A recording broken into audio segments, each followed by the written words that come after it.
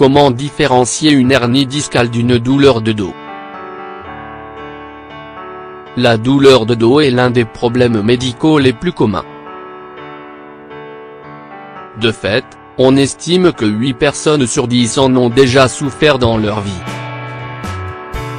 Il existe plusieurs facteurs qui peuvent influer sur son apparition ainsi que sur son intensité et sa durée.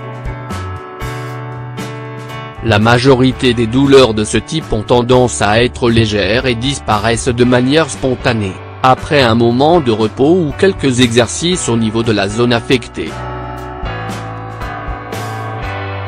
Cependant, dans de nombreux cas, la douleur est récurrente et peut être due à un problème chronique qui demande une attention toute particulière. Souvent, les personnes préfèrent ignorer la douleur de dos et penser que c'est quelque chose de temporaire et de normal. Pourtant, elles devraient y prêter attention, car c'est un signal d'alerte qui signifie que quelque chose ne va pas bien. L'hernie discale est l'une des affections que les gens ont tendance à ignorer car ils pensent que c'est une douleur commune de dos. Cependant, il faut savoir que les symptômes s'intensifient avec le temps et il est de plus en plus difficile de les soigner. C'est pour cela qu'il est très important de connaître la différence entre la douleur d'une hernie discale et un mal de dos, afin de leur apporter un traitement adapté. Qu'est-ce qu'une hernie discale? Les vertèbres de la colonne sont séparées par des sortes de coussinets, les disques intervertébraux. Ceux-ci ont pour fonction d'amortir les traumatismes et d'éviter que les nerfs ne se compriment. Ces disques facilitent le mouvement entre les vertèbres et donnent au corps la capacité de réaliser des mouvements, comme se baisser ou s'étirer pour atteindre quelque chose.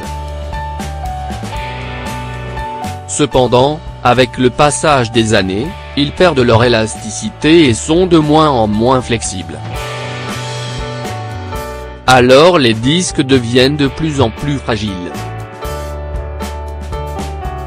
Face à certains mouvements, ils peuvent sortir de leur emplacement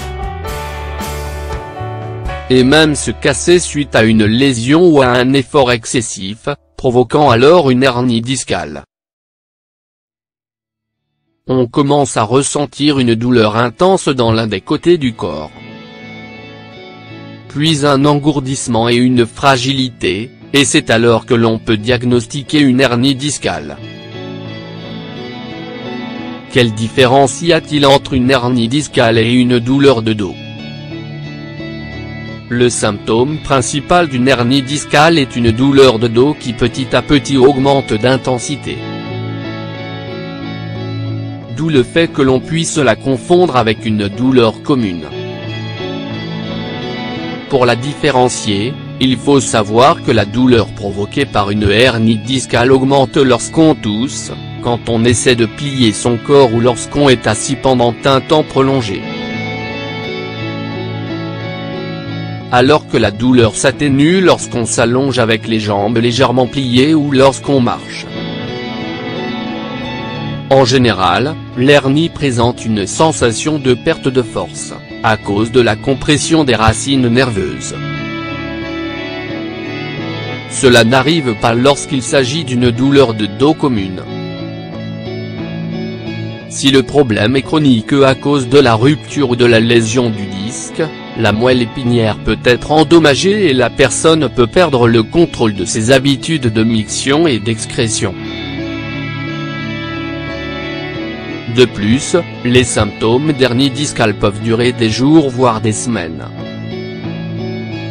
Alors qu'une douleur commune de dos disparaît en quelques heures ou après un bref repos. Que faire en cas d'hernie discale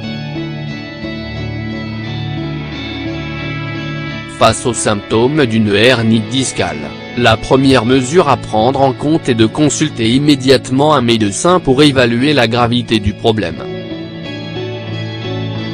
Pour traiter cette affection, l'une des options est la chirurgie mais elle ne garantit pas l'élimination de la douleur à sang. C'est pour cela que de nombreux patients diagnostiqués ont trouvé dans la médecine alternative différents traitements pour améliorer ce problème et éviter qu'il n'affecte leur qualité de vie. Voici certains de ces traitements. La thermothérapie. L'électrothérapie. Les tractions lombaires. Les minerves. Les ceintures. Les massages. L'hydrothérapie.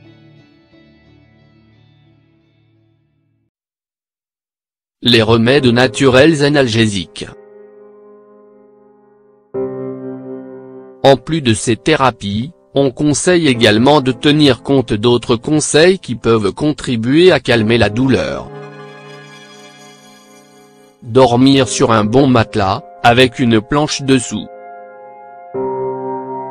Adopter une position fœtale pour dormir.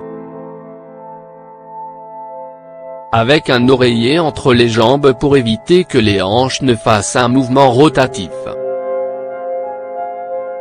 Éviter de se coucher sur le ventre. Faire attention lorsqu'on se lève du lit. Se reposer pendant plusieurs heures, mais pas de manière prolongée. Le mouvement doux est très important pour la récupération. Ne pas faire d'efforts comme par exemple lever quelque chose de très lourd. Marcher ou nager pendant 30 minutes chaque jour, même lorsque la douleur a disparu.